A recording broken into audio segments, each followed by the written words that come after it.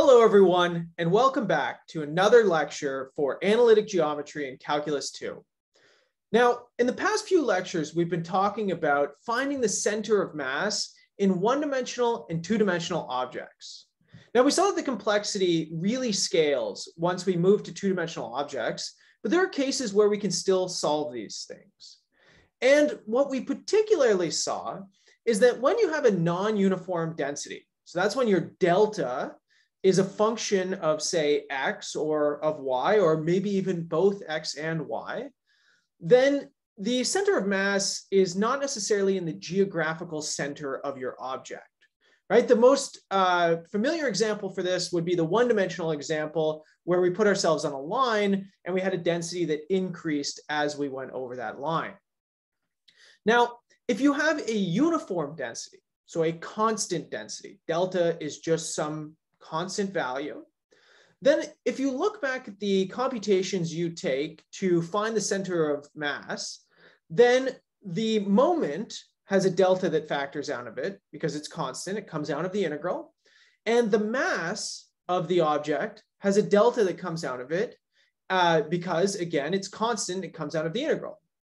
Because we're dividing these things, we have a delta in the numerator, a delta in the denominator, and they cancel each other out. So density means nothing in this case. And that means that fundamentally, when you have a constant density or a uniform density for your object, then the question of finding the center of mass is fundamentally a geometry question. You're asking yourself, what is the geographic center of this object? And we've seen this before because we've been asked in the past maybe to find, say, the centroid of a triangle.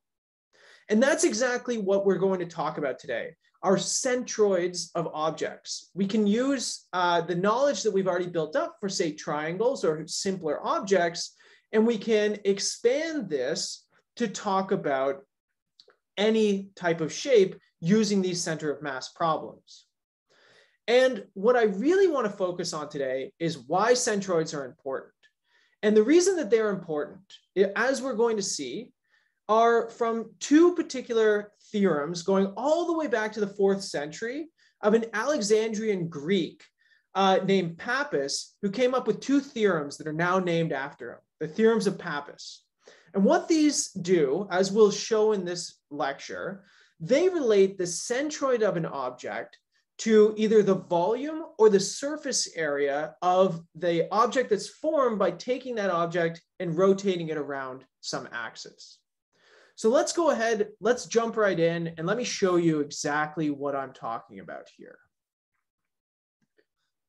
So the first theorem of Pappus that I want to talk about is Pappus's theorem for volumes. So let me write it out for you. So this is uh, Pappus's uh, theorem for volumes. And so what it says is that if a plane region, so uh, again, a two-dimensional object that we put in the xy plane, if this thing is revolved around uh, a line in the plane, uh, that does not cut through the region's interior.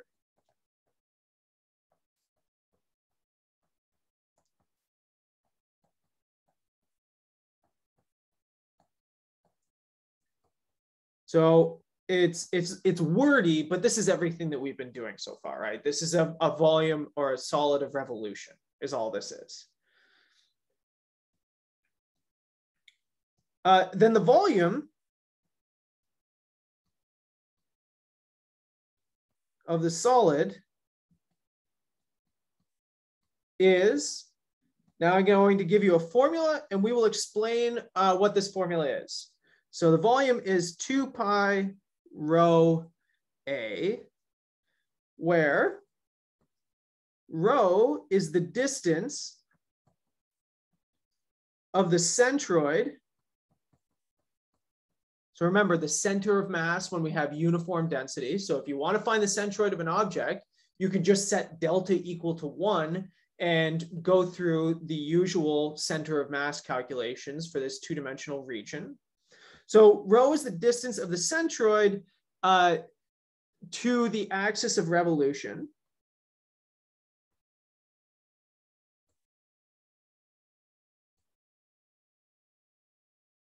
And A is the area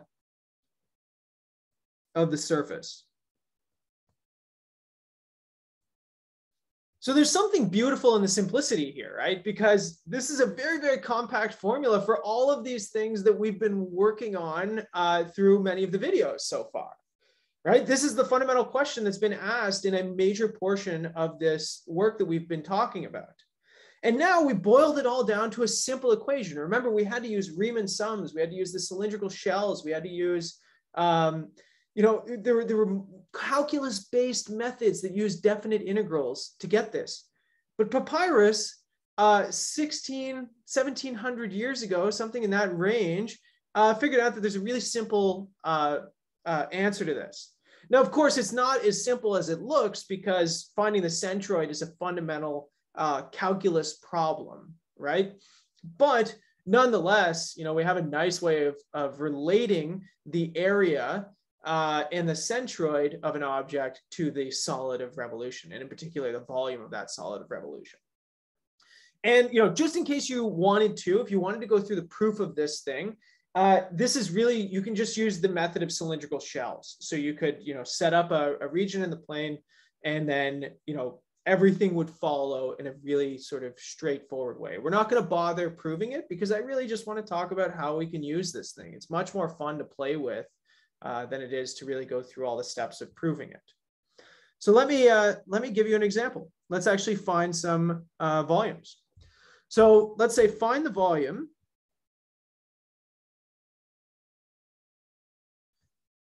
of the torus. So this is a, a donut object. Um, generated by revolving a circular disc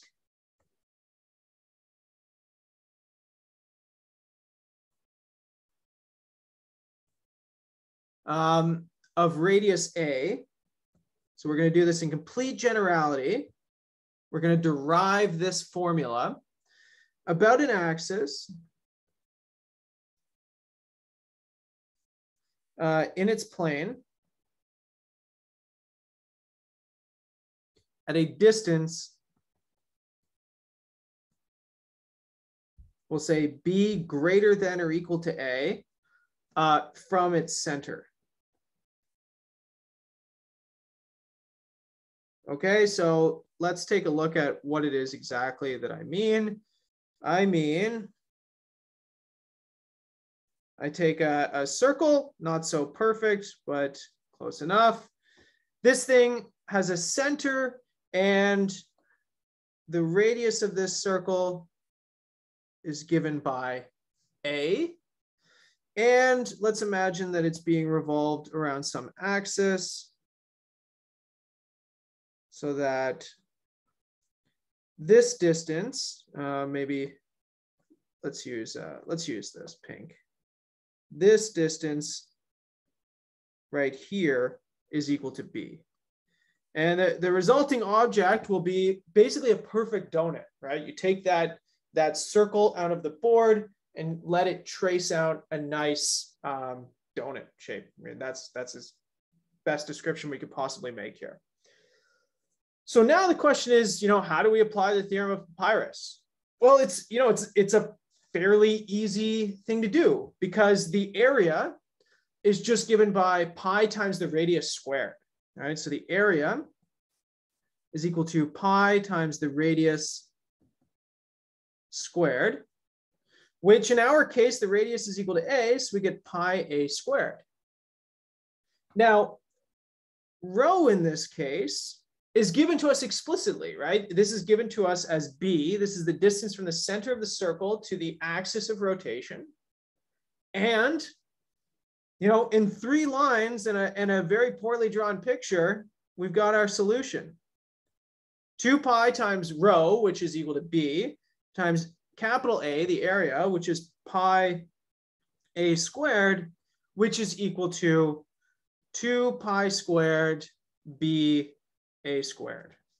So now you can find you can use this formula. This is a formula that you could have looked up before this as well.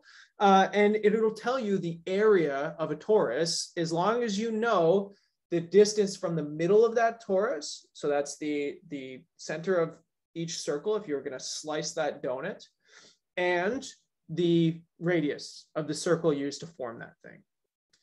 And of course, you know, if you wanted to, you could do this the old fashioned way and you could use the method of cylindrical shells, for example, uh, and it would be a huge pain, right? It would be a lot of, lot of work. But now what we can see is that, uh, you know, we have a nice uh, compact way of doing this. And actually, uh, we can use Pappus's formula to go backwards as well. So we can use volumes that we know. So for example, volumes that we might have even calculated in some of the previous lectures and use them to find the centroids. So that eliminates the really complicated stuff that we've been working on in the past few video lectures where we talk about, you know, finding the center of mass. So let me give an example. Let's say find the centroid uh, of a semicircular region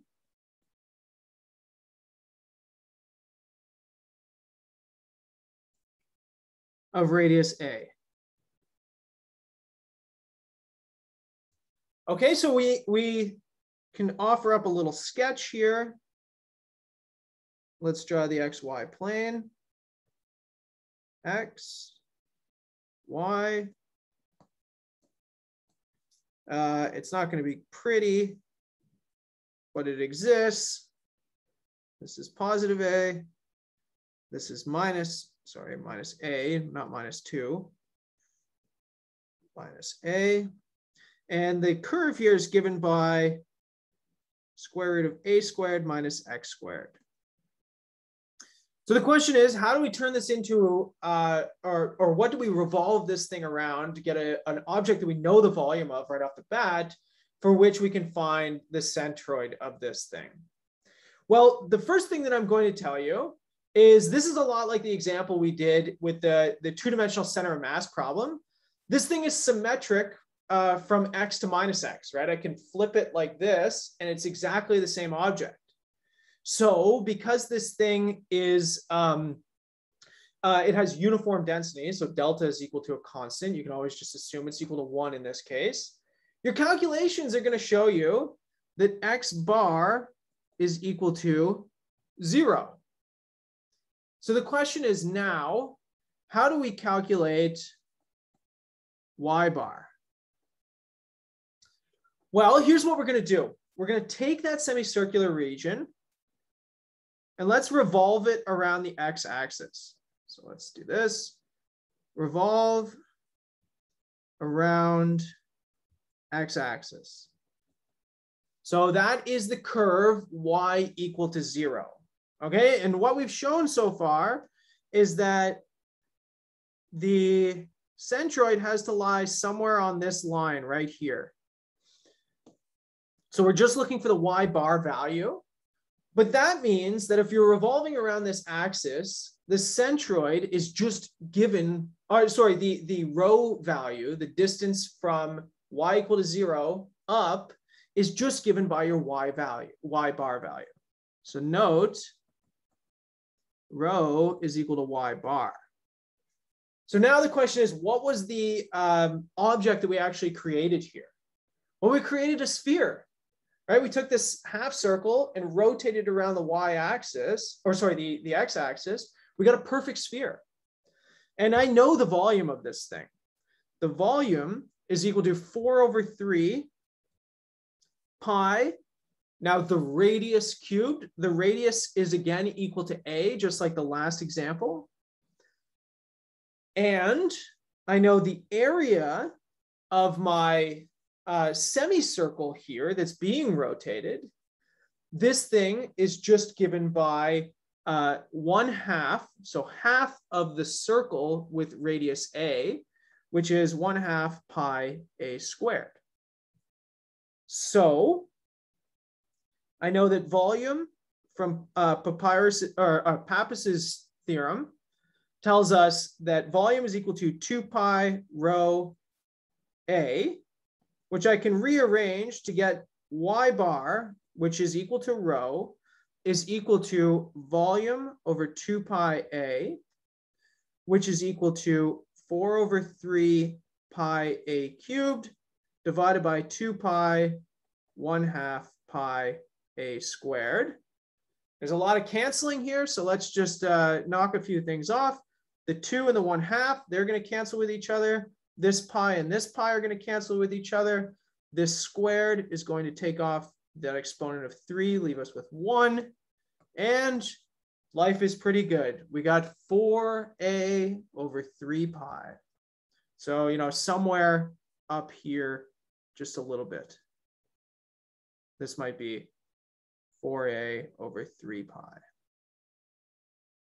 So that's the centroid, right? So this is beautiful. This gives us not only a, a quick method of finding volumes, but it also gives us a quick method of finding centroids, right? And then I think that you probably appreciate that a little bit more than the volume calculation based on how frustrating and complicated the previous video lectures have probably been. Okay, so I promised uh, two theorems by Pappus. So let me give you the second one. So this theorem, this is actually uh, Pappus's theorem for surface areas. So another problem that we've been working on.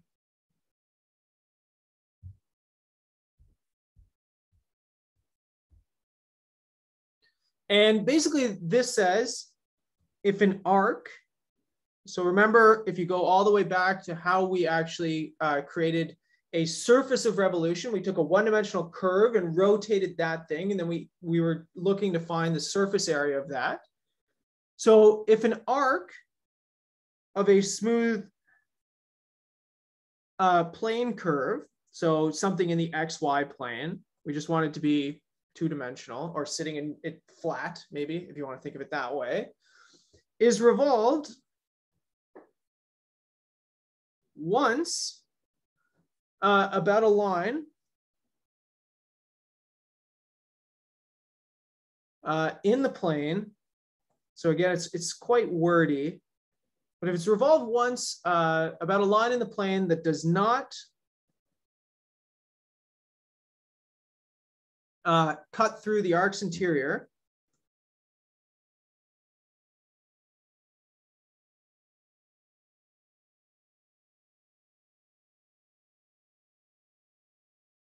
uh, then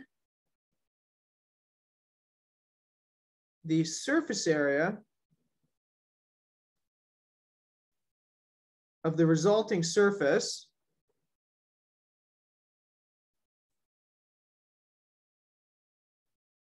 is given by, we'll call this S, and this is 2 pi rho L, where again, rho is the same as above. So rho is the distance, rho equals distance uh, from the axis of revolution to the centroid.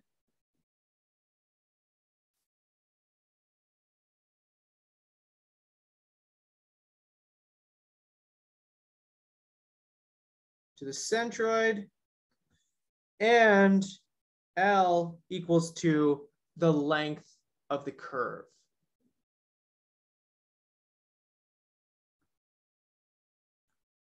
So it's basically just the one-dimensional version of the, the same uh, formula that I gave you in the previous page or uh, the previous theorem, right? Uh, all that I'm doing here is or replacing area, which is fundamentally a two-dimensional thing, with length, which is a one-dimensional thing. So there's really not a like to to memorize these two theorems. There's not a whole lot, right? You just swap off uh, the two-dimensional version area for the one-dimensional version length. And again, you can prove this uh, using Riemann sums again, uh, but we're going to skip the proof and let's give a, let's, let's do an example. Okay, so I'm going to ask you to find the surface area